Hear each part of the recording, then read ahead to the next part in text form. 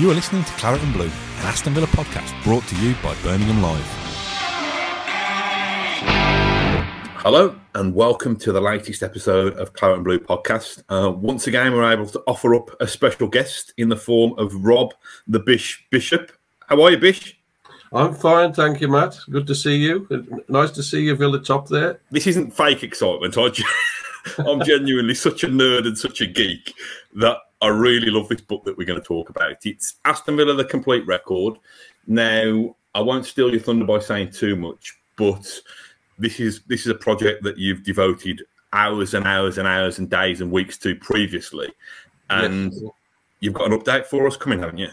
Yes, it's the 2022 update. The last one, you may recall, was 2010. Uh, there were a couple of original ones which you should give credit to. Uh, the, the, first one was uh, 1988, um, just after Villa got back in the Premier League, sorry, in the First Division. Uh, and then there was another one in 1992, just before the Premier League started.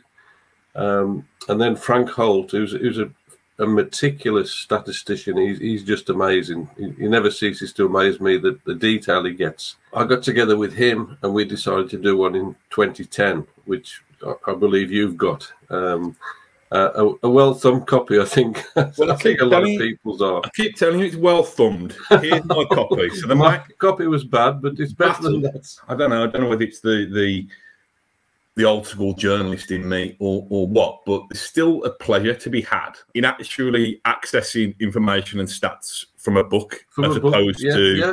Soccerbase or whatever website, Transfermarkt, whatever websites people use. I don't know, it just feels, I don't know. Yes, it's almost like it's more real. Uh, and obviously, what's on, on websites, etc., is absolutely fine.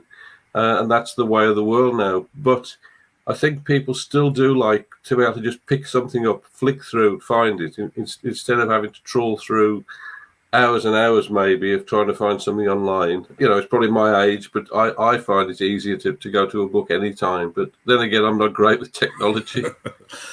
it's, I mean, but, but say you shouldn't judge a book by its cover. You shouldn't judge it by the cover of mine because it's battered and fallen to bits. But it does what it says on the tin, doesn't it? Aston Villa, the complete record. So you know, said we've said before you come on that we, we can't have it It's too blatant to plug or too, no. too blatant an advert, but sell it to us, Bish. Tell us tell us what, what, what people will, will will get in this in this book. I suppose we, we could, in a way, start with what you won't get. And as, as you and I are, are aware, uh, there will be one little piece of information missing unless anyone can come up with it between now and when he goes to print. That that is the scorers from a game in 1880, an FA Cup tie against Wednesbury Strollers, which Villa actually won 5 3.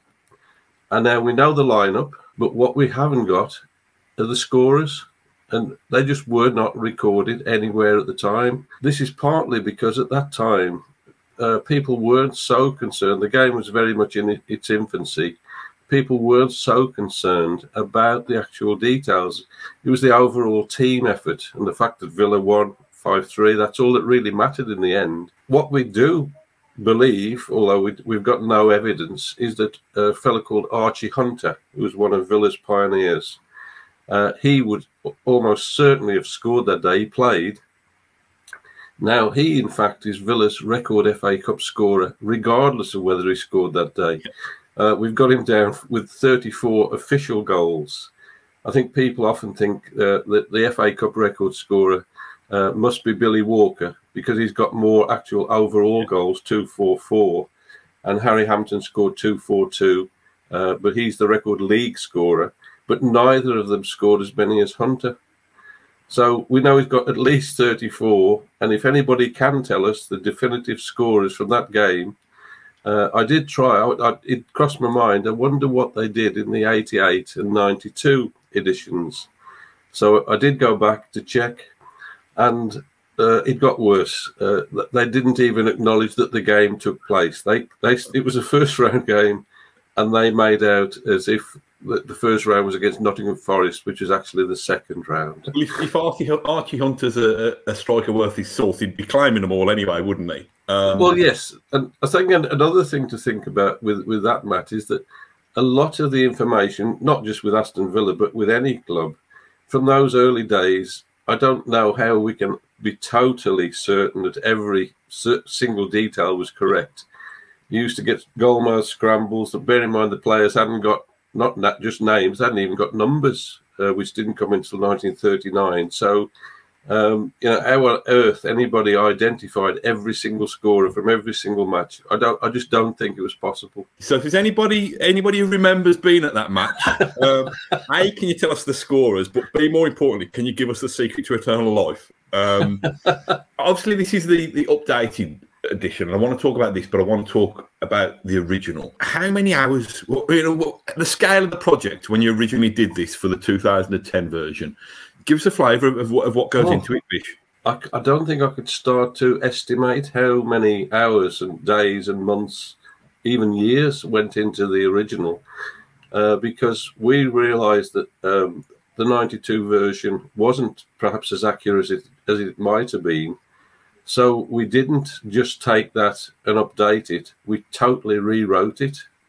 Uh, Frank researched all the uh, the stats, the scorers, attendances. He's, he's gone to just so much detail. How many hours? Oof, I, I bet we were working on it for two or three years before it actually came out in 2010. I think it was about October time that year. Let's say there's a discrepancy or something that you're not sure about from the exit from the original that, that predated you. What kind of journey do you go on? Is it is it the archives at the club? Is it the microfilm at Central Library? A, yeah, that's a fairly um, good good point to start. I think because whatever is at the club is as, as official as you will get. And I'm, I'm not saying absolutely everything is going to be correct, but you know, pretty much all of it will be, or, or as correct as anybody can be. Uh, so that information was essential. Um, all the player profiles we, we, we we did as well. We, you know, completely rewrote them. Uh, there's also a section about games to remember, which almost didn't make this edition. Uh, we did think that we were going to be struggling for space. Um, and uh, I actually suggested, well, while I love this section and there's some nice action pictures in it, um, is it something we should maybe ditch uh, just to make sure all the essential information gets in? but the publisher was keen to do it, and somehow he's, he's found a way. So that section is in, um, and we've added just the last the last game that was in there uh, up to 2010 was that that uh, six four against uh, Blackburn Rovers in the League Cup semi final. Uh, but since then, we've added four more. Um, I'm, I'm, just trying to look at my notes here to, to remember which four. There was 4 3 against the Baggies um, when it was 3 3 half time, and then Benteke's penalty. Um, the fabulous win at Wembley against Liverpool, and there's a, a great photo accompanying that uh, of Villa's players celebrating in the background, and the player in the foreground looking totally disgruntled is Steven Gerrard. so, so that worked out rather nicely. And they, the other game was the five-five against Forest, uh, which was quite a, a night and I think anybody can guess the, the, the very last latest one that was in is a certain game against uh, Liverpool, seven two. what's your a bit of an open open ended one? But what's your what's the best thing about being able to, to work on a project like this? I think it's the satisfaction of knowing that it's for all time it's not just, I mean, I've done other books obviously as well. I did the Euros and Villains one, which I published myself and worked out well. And it's great. Uh, and I'm really so pleased with that uh, because I went out on a bit of a limb with it and I had to fund it myself. Uh, but it worked. Uh, but that that is, if you like, stories about Aston Villa, about specifically the European Cup and other European competitions and I did another one that was about players, the best players in the Premier League. But this, if you like, I think it's regarded, uh, without being blasphemous, a lot of people regard it as the Villa Bible. And I just think, for, for me, that's so satisfying to think that I've had a part in in compiling that. Although I would give the greater credit to Frank Holt because he's the man with all the statistics. You know, if you ask me a question now about a date or a result, I, I will hesitate, or I might hesitate. He wouldn't. He'd just tell you. It's a, it's a lasting thing. I just hope somebody might keep on doing it when once I've got. Just a silly little thing, and I don't. There can't be too many occasions when I'd need this, but if I want to know how many goals Simon Stainrod scored versus how many goals Gary Thompson scored, for example, in the in the mid eighties. I'll go. I'll go to the complete record, and, yes. and I'll get it there. And if if I want to know what the what the I think Villa had a, a really bad attendance under Lambert a few years ago, and it might even have been the match. Um, remember Sid being on the pitch um, with the European Cup for for a game. It, was, it might have been an oh. anniversary game. I might be, I might be getting this wrong, but I wanted to see when Villa had had a lowest had had, had a lower top flight attendance than that game, and lo and behold, it took a little bit of sifting, but lo and behold, you could find there. yes, yeah, yeah. Um, like I say, I know that it, appeals to kind of saddos like me who probably need it or have used it for for research and work for the job. Yes, for the job. What, yeah. what kind of what kind of response have you had previously from kind of gen, general Villa fans who just want this kind of Bible on their shelves? Like, like you just said, that they're glad just to be able to have a, a reference point and to and to check. As, as I say, sometimes you, you do have to search a bit. The the obvious things like the, the records, like the most most goals, the biggest win, um, highest scorer, highest attendance. I mean, lowest attendance isn't something we'd really look at. Um, but so you, you would have to look, uh, and obviously, if you go back to way, way back in the 1800s, some of them were just 2,000, maybe less. Um, one one really low one I can recall was from the mid 80s, a midweek game against Southampton. I think it was 85, maybe 86, and it was 8,000. And you, you just can't imagine that at, at Villa Park that happened, and that must. I, I, wasn't at that game. That must have been a, a dreadful atmosphere. I don't want to kind of make a, a, a rod for your own back here, but but you're going to. 2022 now. This this this update's obviously been 12, 12 years in the making. Yeah. Mm. How often? it might not be you who's doing it, but how often do you think these should be done? Do you think every decade is a good, well, a good way of yeah. doing it? Or? Yeah, I mean, I, I think the original thought was that we might do it for the 150th anniversary, uh, which is two years' time, which which would have been nice, obviously, you know, to, to have it as the complete record at that point. But I, I'm aware of quite a few other publications that will be happening then.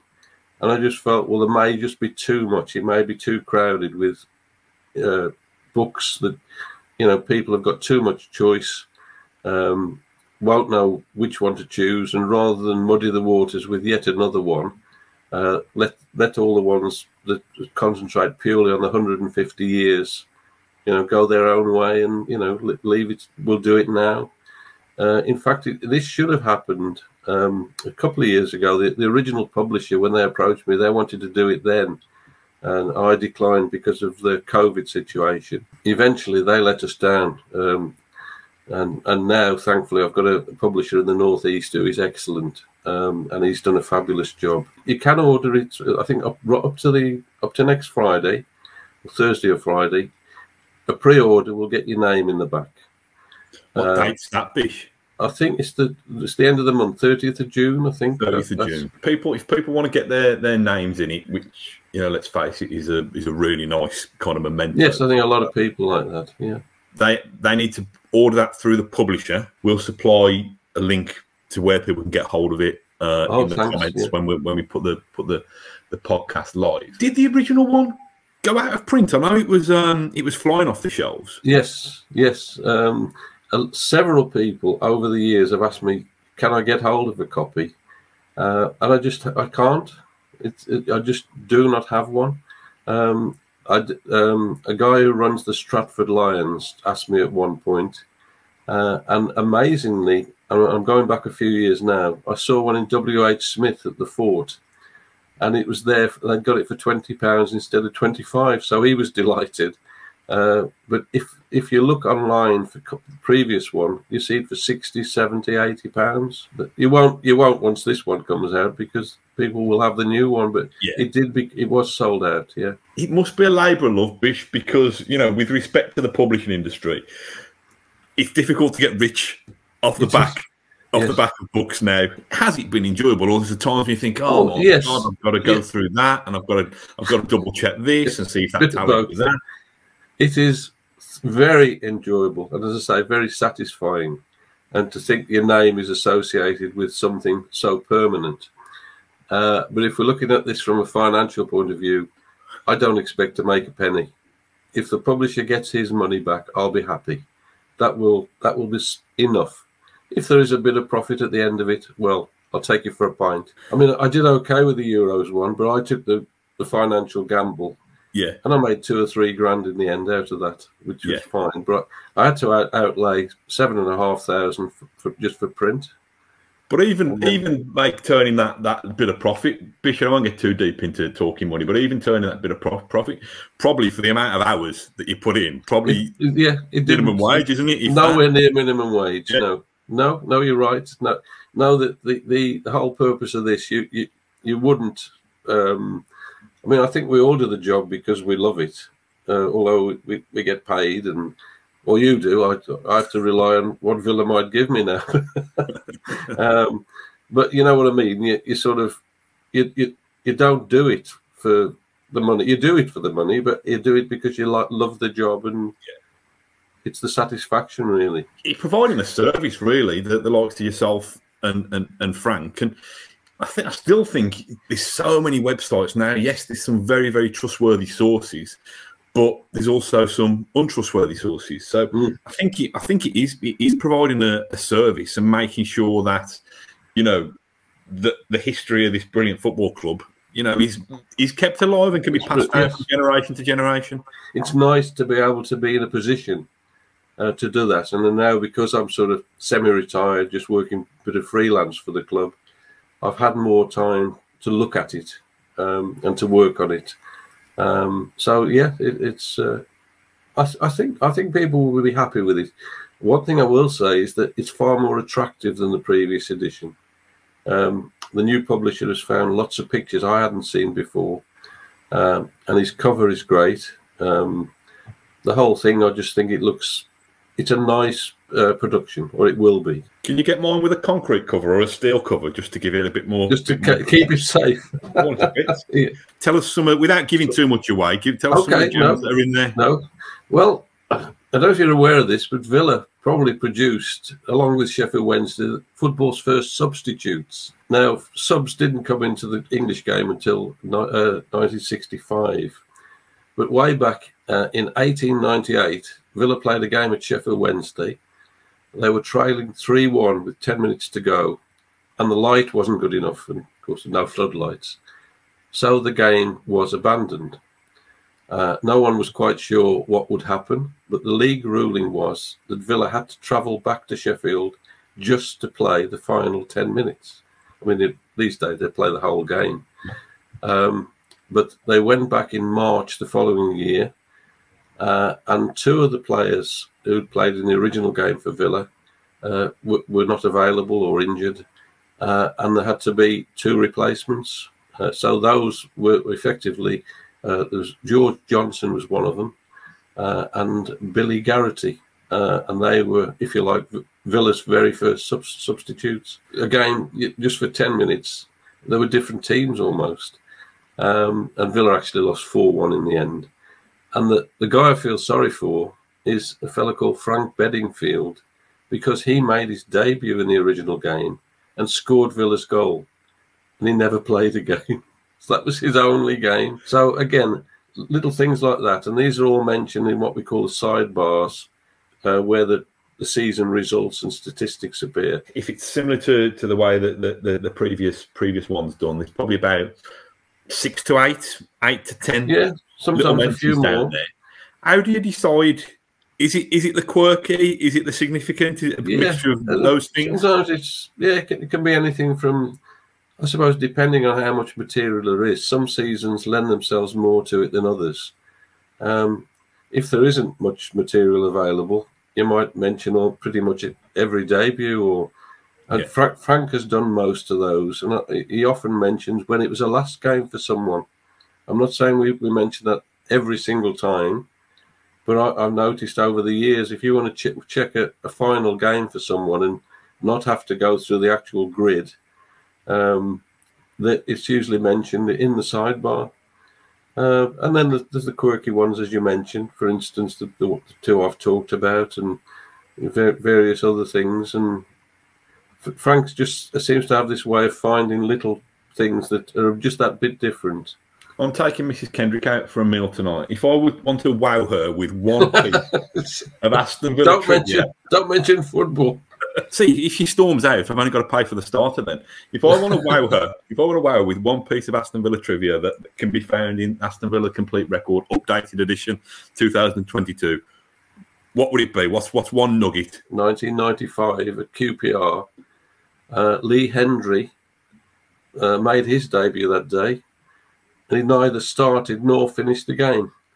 He, he went on as a sub and was sent off in stoppage time for a second yellow card. It's um, funny you mention Lee Hendrie because we got him on the podcast um, oh, right. a, couple of years ago in lockdown. He was telling us the, the story of that. He had to go down, trudge down. He was at Loftus Road, I think, wasn't he? he had to trudge, yes, trudge down yeah. the touch line to the, the dressing room. And uh, I think Ray Wilkins was the player manager at QPR. I was saying at the time, and Ray Wilkins came in and yes. kept putting an arm around his shoulder and said, "Listen, and, listen, son. You know you're a good player. I've heard great things about you chin up. Yes. Uh, everything will be everything will be fine. You've got a great career ahead of you. And apparently Brian Little blanked him. He never he never spoke to him until, until, the following week, I think. So it was a real introduction to the kind of you know that, that was a bit, yeah, that was a bit harsh of Brian because if I recall, neither of the yellow cards was particularly serious. They, they were both innocuous offences. It's just that having booked him once, when the referee did it a second time, he had to go. But uh, what a way to start your career. Another interesting one, another player finished his Villa career that day, uh, Nigel Spink, and he finished it playing in midfield. He Another quirk in, mid, in, in stoppage time that day, he was on the bench and he went, Villa had used their other two subs and Ian Taylor was injured. And Nigel Spink's final appearance for Villa was as an outfield player. Would you have been at that game, Bish? Can you remember yes. it? Yes. It was it was just a it was a staggering game. It was.